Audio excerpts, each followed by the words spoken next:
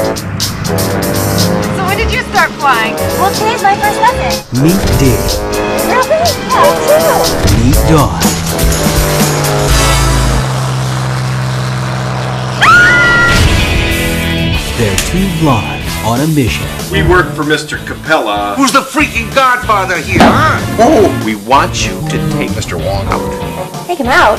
I don't even know him. They just have no idea Say a quarter of a million dollars? Wait a second. You're gonna get me to take this guy out for twenty-five thousand dollars? what it is. $250,000. Wow.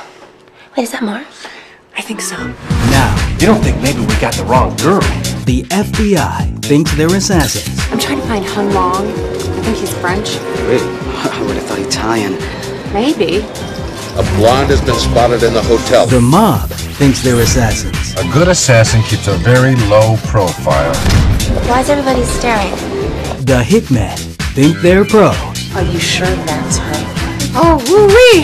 Either she's incredibly brave or incredibly stupid. And they Hungry? Not really. I have to fit into Old Faithful. just don't think.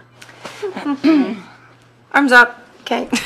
From Regal Entertainment, Oh, so you must be Mr. Wong. I am Hung Wong. Ouch. it's the blonde leading the blonde. Take a left here and then two rights. Wait, no, I'm sorry. Take a right here and then two lefts. Wait, can you say that again?